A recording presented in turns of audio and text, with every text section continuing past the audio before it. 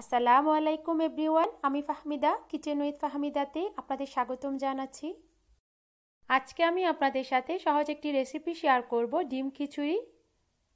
আশা করছি ইনশাল্লাহ আমার রেসিপি আপনাদের ভালো লাগবে। যদি ভালো লাগে, প্লিজ আমার চ্যানেলটি সাবস্ক্রাইব করবেন। এই জন্য প্রথমে আমি তিন কাপ চিনি গুঁড়া চাল নিয়ে নিব।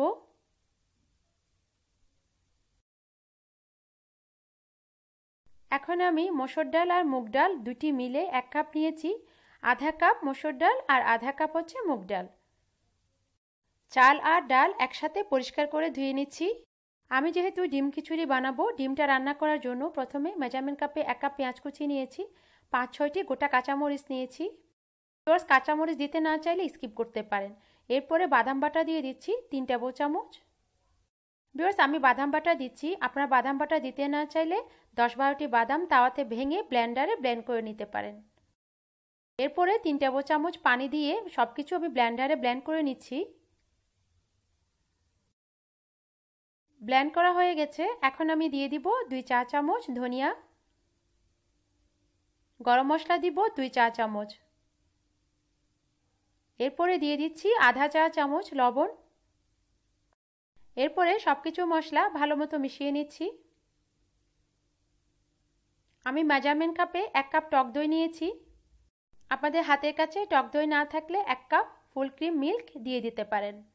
এরপরে আমি একটি পাত্রে চোলারাজ মিডিয়ামে করে তেল দিয়ে দিচ্ছি ছয় টেবিল চামচ। সবগুলো তেল যখন দেয়া হয়ে যাবে আমি মশলাগুলো দিয়ে দিব।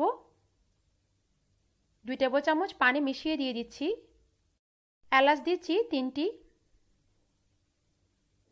গোটা মিষ্টি জিরা দিচ্ছি, এক চিমটি পরিমাণ। চুলার আঁচ মিডিয়াম লোতে করে তিন থেকে চার মিনিট ভালো মতো কষিয়ে নিতে হবে মশলা। এখন আমি এক কাপ টক দই দিয়ে দিচ্ছি।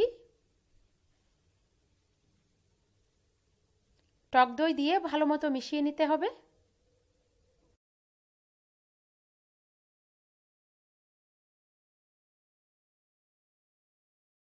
চুলার আঁচ মিডিয়ামে করে ঢাকনা দিয়ে রাখছি পাঁচ মিনিটের জন্য।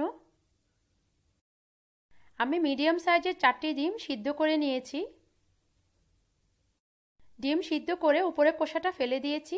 এখন আমি ডিমগুলোকে হালকা একটু ছুরির সাহায্যে কেটে দিব।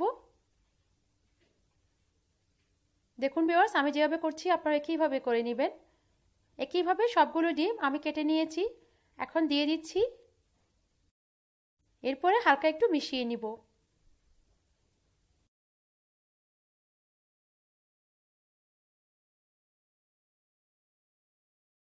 এরপরে আমি দিয়ে দিচ্ছি দুই টেবিল চামচের মতো কিশমিশ। কিশমিশ দিয়ে ভালো মতো মিশিয়ে নিতে হবে। বিওয়ার্স মশলাতে যে পানিটা ছিল সেটা ছাড়া দুই টেবিল চামচ মশলা মাখানো পানি দিয়েছি, এক কাপ টক দই দিয়েছি।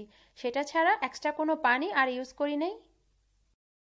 ডিম দিয়ে তিন থেকে চার মিনিট ভালো মতো কষিয়ে নেওয়া হয়ে গেলে এখন আমি চিনি দিয়ে দিচ্ছি আধা চা চামচ।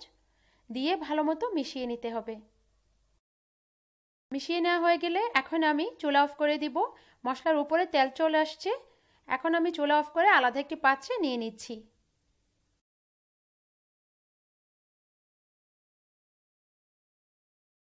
এখন আমি চুলার আঁচ মিডিয়ামে করে একটি পাত্রে ছয় টেবিল চামচ তেল দিয়ে দিব সর্বমোট।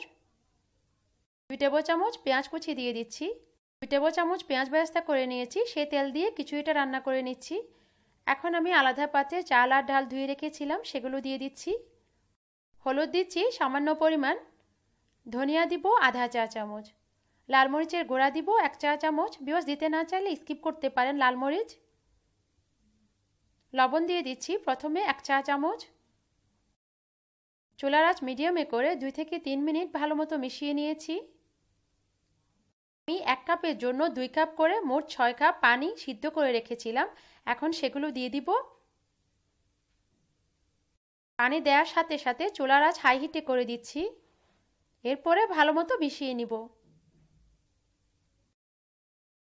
এ পর্যায়ে এসে লবণটা একটু কম মনে হচ্ছে। এখন আমি আরও আধা চা চামচ দিয়ে দিচ্ছি। বিকজ লবণটা আপনাদের স্বাদ মতো চেক করে দিবেন। এরপরে ভালো মতো মিশিয়ে নিব।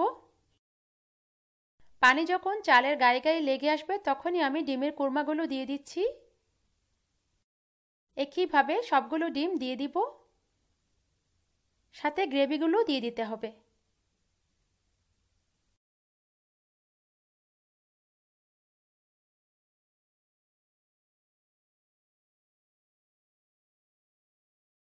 সবগুলো ডিমের কুরমা যখন দেয়া হয়ে যাবে, তখনই আমি দুই টেবিল চামচ পেঁয়াজ বেরেস্তা করে রেখেছিলাম, সেগুলো দিয়ে দিচ্ছি। এখন আমি চুলার আঁচ একেবারে লোতে করে ঢাকনা দিয়ে রাখছি পনেরো মিনিটের জন্য। ঢাকনার ছিদ্রটা আমি টিস্যুর সাহায্যে আটকে দিচ্ছি। পনেরো মিনিট পরে মাসাল্লা করে ডিম খিচুড়ি রেডি হয়ে গেছে। এখন আমি চুলা অফ করে দিচ্ছি। দশ মিনিট পরে আপনাদের পরিবেশন করে দেখাচ্ছি। দেখুন ভিওয়ার্স খুব সহজে তৈরি হয়ে গেছে ডিম খিচুড়ি।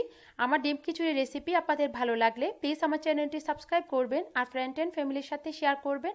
আজ এই পর্যন্ত আসি, আল্লাহ হাফিজ।